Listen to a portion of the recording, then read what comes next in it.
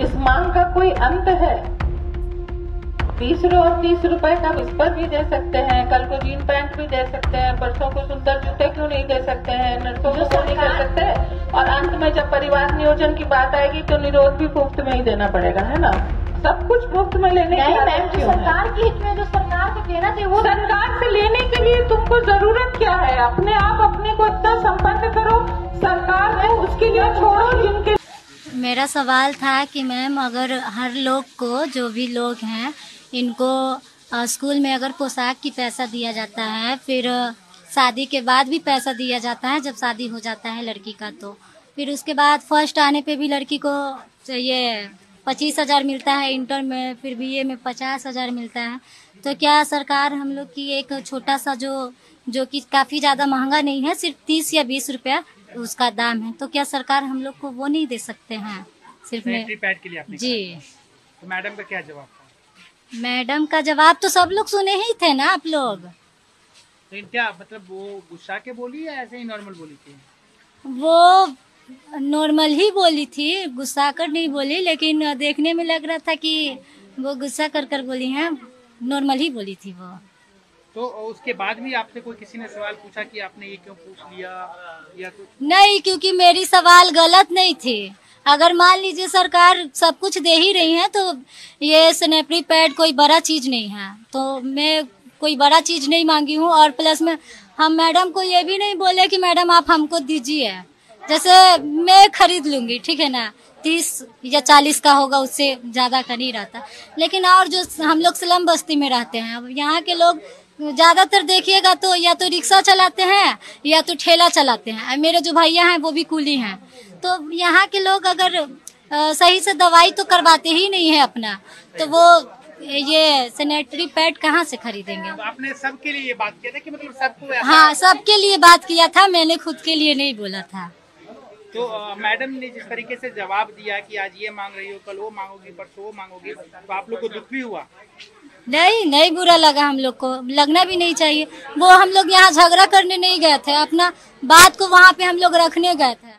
और मैडम से मांगने भी नहीं। मैडम इसलिए हम लोग मैडम को बोले ताकि मैडम हम लोग का जो बात है, वो सरकार तक ले जाए। क्योंकि अब हम लोग सरकार से मिल सकते हैं। नहीं ना? मैडम से ही मिलने के लिए कितना ये हुआ, तब जाकर मैडम से मिले। तो सरकार से, मैडम लोग का तो हमेशा बात होता होगा इसीलिए हम लोग मैडम से ये बात रखे। आप किस क्लास में पढ़ते हैं? बी ए पार्ट वन क्या सब्जेक्ट है? आर्ट्स तो आपको पता है आप मैडम के उस बयान के बाद कितना बवाल मचा हुआ है? हाँ पता तो ऐसे हमको नहीं पता था लेकिन कल पता चला है हमें कि इतना बवाल हो गया है इस बात पे। हम नहीं सोचे थे कि ये बात का इतना बड़ा इशू होगा क्योंकि हम लोग झगड़ा करने नहीं गए थे। वहाँ अपनी बातों को रखने गए थे। मैडम का मन होता मतलब सरकार का मन होता तो करते नहीं मन होता नहीं करते। तो आपको कोई सवाल दिया था कि आपके अपने मन का सवाल था कि अपने नहीं वो अचानक से हम पूछे। वो मेरी कोई राय आपके, आपके मन में हाँ। कि ऐसा बोलना चाहिए पूछना चाहिए हाँ जैसे और सब डिस्कस चल रहा था ना मैडम कुछ बोल रही थी और लड़की कुछ बोल रही थी उसी पे मैं मेरा भी दिमाग किया कि अगर सरकार ये सुविधा दे सकती है तो क्या तीस और बीस रुपए का जो स्नेपरी पैड है वो कोई थोड़ी ना कीमती है? ये बयान के बाद आपके बयान के बाद सरकार की तरफ़ से या कोई अधिकारी या कोई आपसे बात किया है मिलने का कोशिश किया है? मिलने का कोशिश नहीं किए हैं, लेकिन मैं सरकार से मतलब मैं अपना बात रखना चाहती हूँ कि जितने भी सरकारी कॉलेज हैं या फिर सरकारी स्कूल हैं, जब हम लोग, हम भी पास किए थे, उसके बाद पैसा लगा, चार हज़ार, पाँच हज़ार लग जाता। तो वो सरकार से मैं हाथ जोड़कर विनती करती हूँ कि ये मुफ़्त में किया जाए। जैसे पास होने के बाद एडमिशन चार्ज ना लगे। फिर जो लड़की लोग टेंथ नाइन्थ करती हैं, वो लोग का भी पैसा ना लगे, निःशुल्क सब। किया जाए।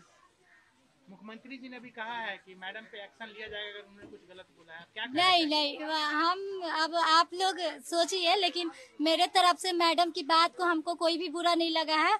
और जो भी बोली मैडम कुछ सोची कर बोली होंगी वो आई आई एस एस है। आई एस है तो वो कुछ ज़रूर सोची कर बोली होंगी। हो सकता है वो ये भी सोच कर बोली होंगी कि हम लोग अपना पैर पे खड़ा हो जाए। वो मैडम का जवाब था कि मैंने कोई भी चीज़ के लिए सरकार पे निर्भर नहीं रह सकते हैं। तो शायद वो हम लोग को आत्मनिर्भर भी बनाना चाहती होंगी। आत्मनिर्भर बनाना हैं। हाँ अब बोलिए तो हम लोग तो ऐसे एक बात कहना चाहूँगी लेकिन सरकार को भी बुरा नहीं लगना चाहिए। जैसे मैडम जो बात बोली कि अ, सरकार पे निर्भर नहीं रहना चाहिए। तो जो मेरा परिवार है मान लीजिए मेरे जो भैया हैं वो कमाते हैं तब हम लोग खाते हैं। सरकार थोड़ी ना हम लोग को घर में खाना बना देते हैं। वो तो सुविधा है कि सब लोग को दिए हैं तो हम लोग को भी दिए। अब सरकारी स्कूल में हम लोग पढ़ते हैं जो भी बच्चे लोग पढ़ते हैं सबको सुविधा मिलता है। तो वो अलग से किसी का घर तो सरकार नहीं चला रहा है ना? अब रिक्शा लोग चलाने जाएगा। तभी ना घर में खाना बनाएगा। अगर नहीं बना जाएगा चलाने तो सरकार थोड़ी ना इनको घर में खाना बना कर देंगे। आगे पढ़ लिख कर क्या बनना चाह रही मतलब अब- में है आगे क्या प्लान अभी हम सोचे नहीं है लेकिन इतना सोचे हैं कि कोई भी सरकारी जॉब हम करेंगे। नहीं सरकार से उम्मीद है?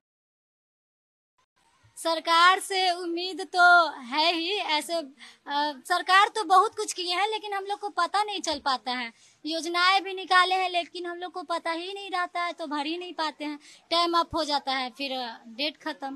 तो इसके लिए भी बात हुआ था वहाँ पे। तो सरकार से ये भी गुजारिश करूँगी कि कोई भी अगर सरकारी योजना है या लाभ हो वो गरीब जैसे स्लम बस्तियों के जो लोग होते हैं उन तक नहीं पहुँच पाते हैं।